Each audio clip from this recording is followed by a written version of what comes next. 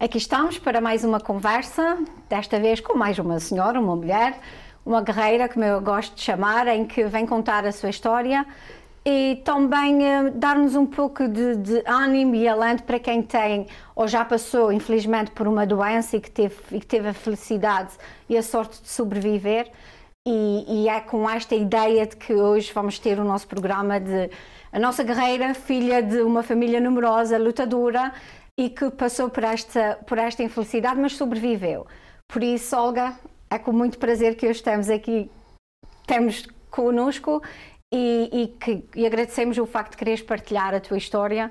Eu falo um pouco por experiência, eu conheci a Olga há relativamente poucos anos, desde que, que vim para os Estados Unidos, mas concentrado nesses últimos cinco. Uh, e confesso que a história dela sempre me impressionou, porque sempre olhei para a Olga como uma trabalhadora, uma guerreira, sempre pronta a ajudar, sempre pronta a fazer coisas, a ela e a toda a sua família. E por isso é que hoje também quis prestar essa homenagem a todos eles e de trazer a Olga ao nosso programa para que ela nos conte um pouco da sua família e da sua história. Por isso, Olga, obrigada por teres aceito. Diz-me é a Olga, quem que vem de que família. Sei que a família tem um último nome muito engraçado, mas ela própria vai dizendo. Então, onde é que nasceste, Olga? Sim, olha, o meu nome é Olga Fino. Eu nasci numa pequena aldeia um, em Portugal uh, chamada uh, Val da Ribeira. Uh, nós pertencemos ao Conselho de, de Guarda. Uh, nós viemos para os Estados Unidos em 1976 um, quantos, meu... quantos, irmãos tu tens, Olga? Vieram todos contigo nessa altura? Nós viemos uh, todos nessa altura, éramos oito, e com os meus pais fazia uma equipa de futebol, dez. dez.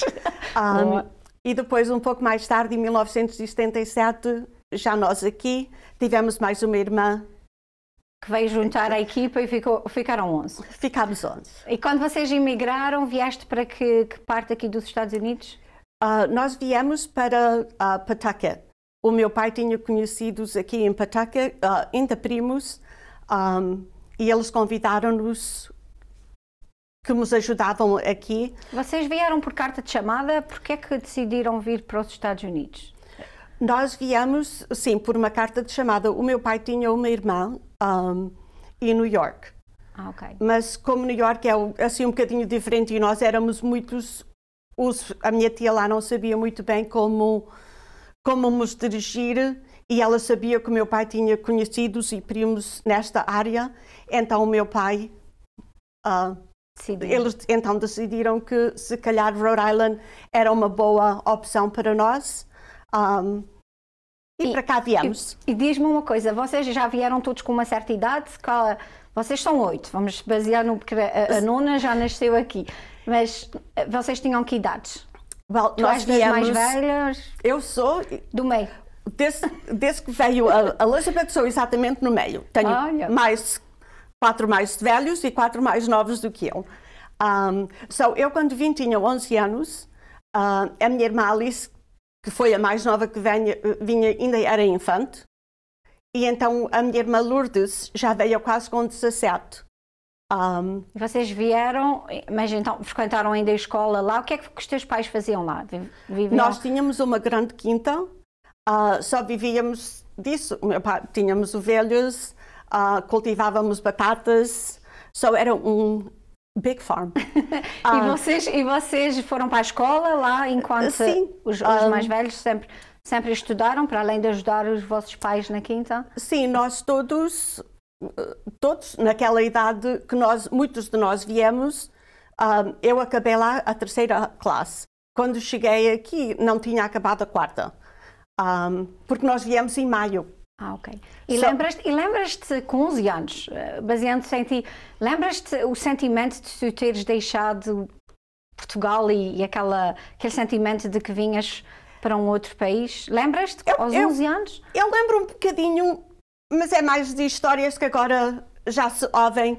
Mas uma pessoa sabia que naquela, naquele tempo tinha então a, a, a revelação de 75 e o meu pai sabia se esperava muito mais tempo. Os meus dois, a minha irmã Lourdes e o meu irmão Joe, chegavam àquela idade que já não podiam vir com os meus pais.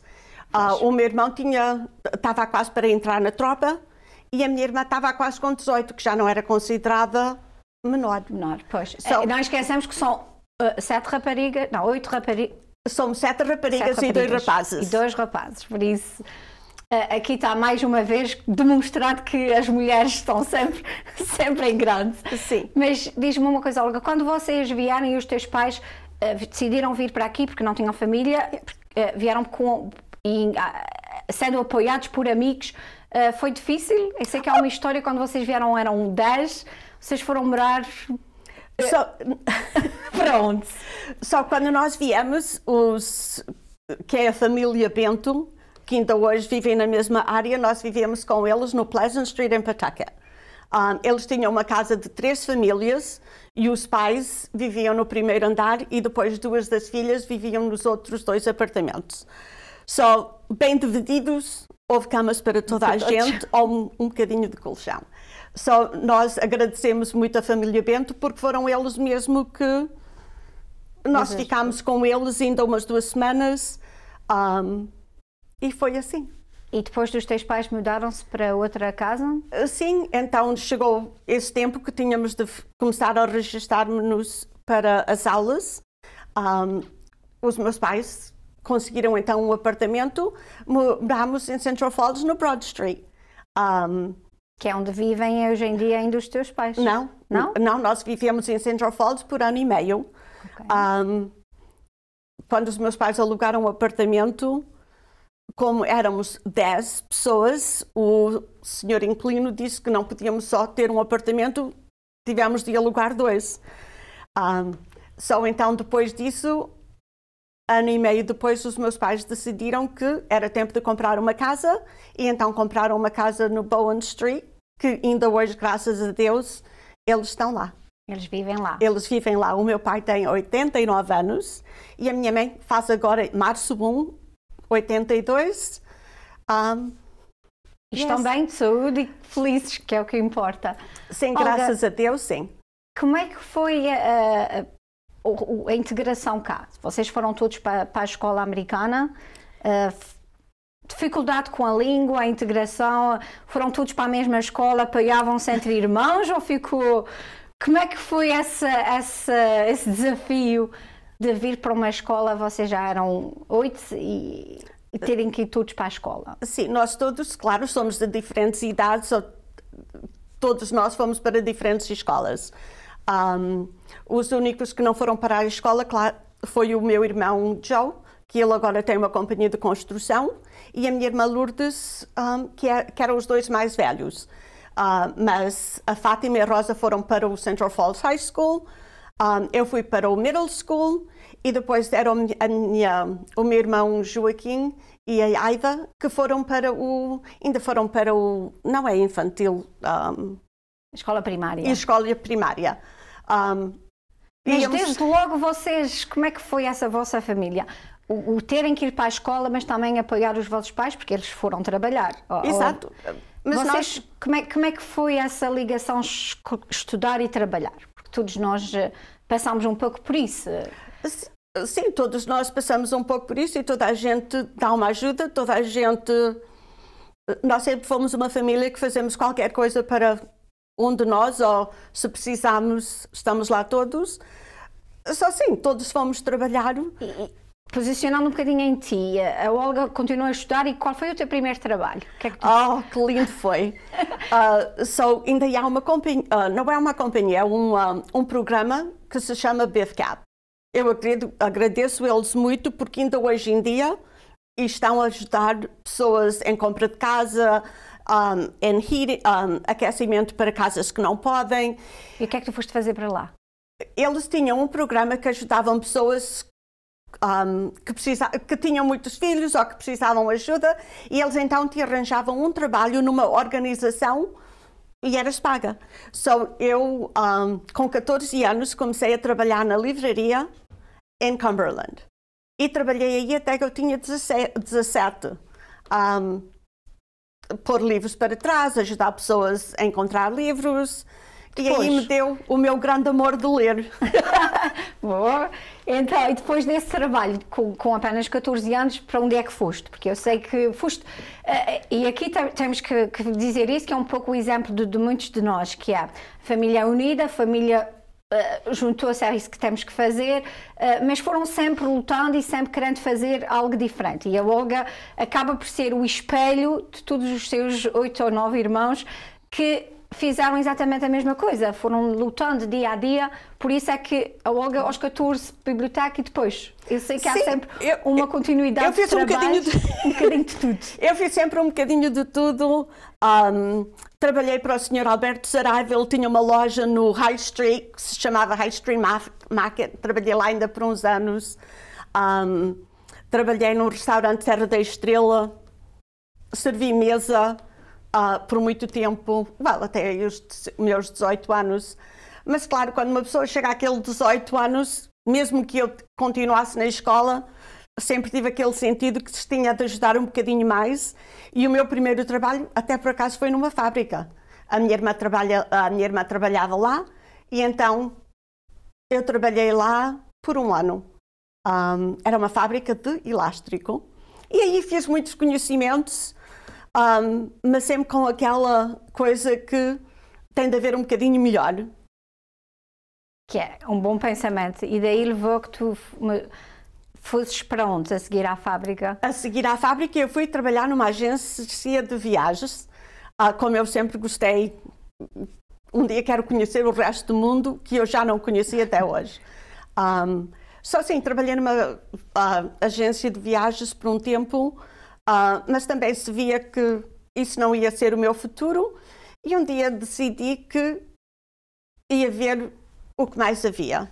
Um, então entrei em contato com uns amigos que me disseram que se calhar isto era uma boa profissão para mim e então entrei, fiz a aplicação, era ainda naqueles tempos que podias falar com uma pessoa, tinha... A aplicação que aqui foi na área da bancária. A, a, Olga, a Olga trabalha para um, para um banco, uh, trabalhou já anteriormente para outros, mas ela disse-me há pouco, quantos anos já estás na área, uh, nesta área de, de, bancos? Já estou a trabalhar em bancos um, desde há 33 anos. Portanto, um, foi quando ela decidiu e com a ajuda dos amigos aplicar e começar. Podemos dizer nomes? Qual yeah. foi o teu, primeiro, o, o, teu primeiro banco? O meu primeiro banco, trabalhei no Hospital Trust, que hoje já não existe, a Hospital Trust, que é Santander. Okay. Um, so esse foi o meu primeiro trabalho em bancário. Uh, comecei, claro, como toda a gente começa no princípio, mas daí tive a oportunidade de ser customer service. Um, e foste sempre subindo, subindo, Exato. subindo e passaste depois. E é um banco onde tu trabalhaste muitos anos, que foi. Uh... Eu trabalhei no, no Citizens Bank. Uh, quando eu comecei lá era Citizens Financial Group, era só em Rhode Island e acabou por ser uma companhia que agora está por metade do país. E aí comecei como Customer Service, depois fiquei assistente, depois era gerente de um, de um escritório em Pawtucket. Um, e ficaste nesse banco muitos anos? Sim, fiquei nesse banco por 28 anos. E depois, não, não pensem aqui aquela, aquela, aquela ansiedade, a Olga não decidi sair da área bancária. O que é que te fez ir para um outro banco após 28 anos a trabalhar no Citizens Bank? Que é que... Sim, eu tinha aquele desejo de ser, trabalhar para uma companhia mais unida. Uma companhia de que conhecem o teu nome. Okay. Um, e daí... Que entras no escritório e é Olga, good morning. Um, é mais uh, personal. Mais... Uma pessoa pode ter um bocadinho mais confiança. Um, e eu sempre ouvia muitas boas coisas sobre o Navigant. Um, até por acaso foi no Navigant que no, no, tempo dos meus pais era o Central Falls Credit Union. E foi aí que os meus pais uh, tirar, fizeram o primeiro empréstimo para a compra, para a da, compra casa, da, casa, que ainda hoje têm. Como é que tu defines então o Navigant, que é um credit union, que é um banco mais pequeno, local, em que como é que tu defines esse, esse banco mesmo para quem nos ouve e que possa até estar, olha, durante muitos anos trabalharam com outros bancos mais americanos e que são maiores. O que é que, que tu, como é que tu defines o, o Navigant Credit Union? Well, sim, é o banco pequeno, mas tem tudo que um banco grande oferece. nós fazemos bons empréstimos, um, trabalhamos com companhias que precisam empréstimos, mesmo agora fizemos muito com o, o, os empréstimos do governo que se, que se, chamavam os PPPs. Nós em Rhode Island podemos ser pequenos, mas fizemos mais do que os grandes, uh, porque é uma companhia que se dedica às companhias locais e sabem que as companhias locais sofreram muito neste tempo. Uh, Olga, para além de, de, tudo isto que o banco fez, qual é especificamente a tua função? So, a minha função, eu ajudo pessoas nas compras e refinanciamento do, das suas casas. Se uma pessoa quer comprar uma casa e precisa de dinheiro, como é o normal, uh, as pessoas vêm ter comigo e eu então faço a aplicação. E, e neste último ano, e que todos nós assistimos, a, possibilidade de, das pessoas poderem refinanciar e de, e de comprar casa e apesar desta pandemia as coisas no, no, teu, nesse, a nível do teu trabalho, estiveste muito ocupada ou as tuas coisas acalmaram um bocadinho por causa de, da situação que, estamos a viver? Não, agora até por acaso uh, temos estado um bocadinho ocupadas porque os interesses estão baixos, as pessoas veem a oportunidade de pouparem um bocadinho no, nos seus pagamentos mensuais e também há muita gente a comprar casa.